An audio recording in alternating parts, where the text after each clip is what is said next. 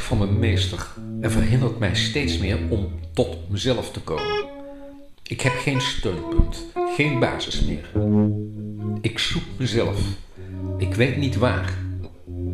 Mijn gedachte kan niet meer gaan waar mijn emotie en de beelden die in me opkomen haar heen drijven.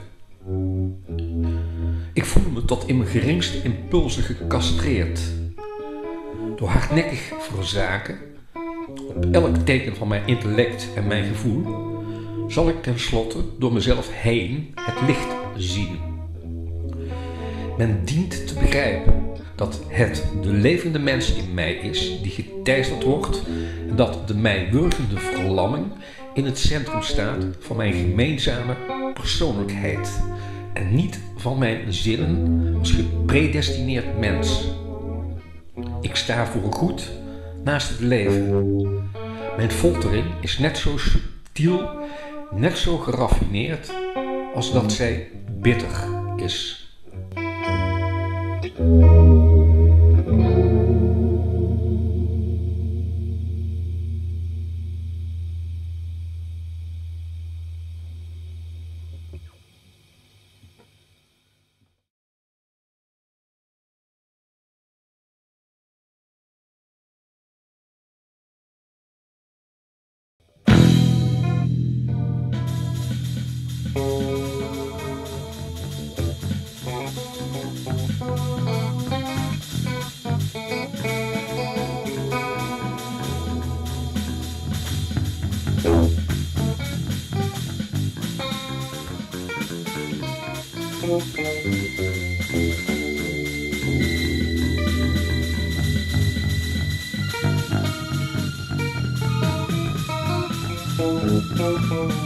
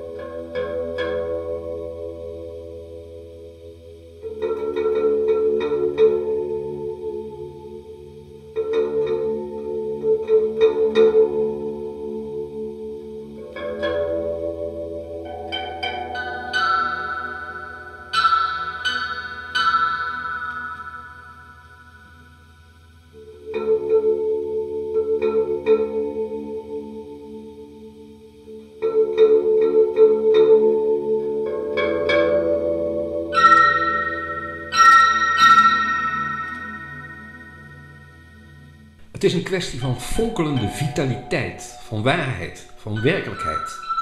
Er is geen leven meer. Leven inspireert niet en verlicht niet wat ik denk. Ik zei leven en had het niet over een schijn van leven. Ik zei werkelijk leven.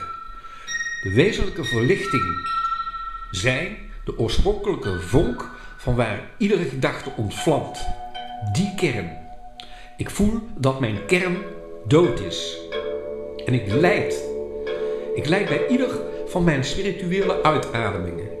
Ik lijd onder hun afwezigheid en onder de toestand van onzekerheid, waar al mijn gedachten onverbiddelijk doorheen gaan, waardoor mijn denken verwatert en wegdwaalt.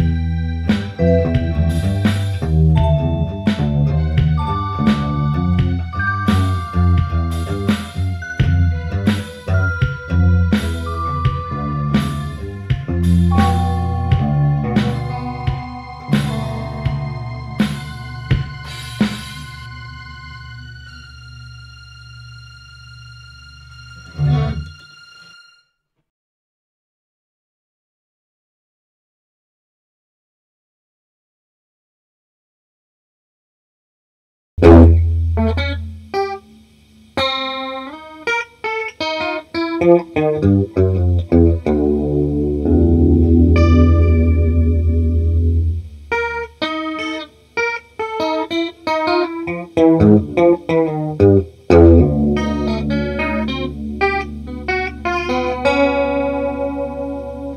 luciditeit is totaal, scherper dan ooit.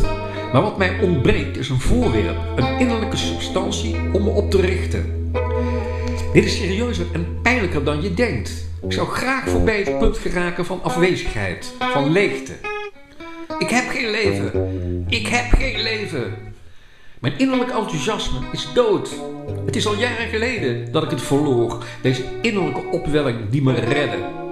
Het is een feit dat ik niet langer mezelf ben, dat mijn echte zelf slaapt.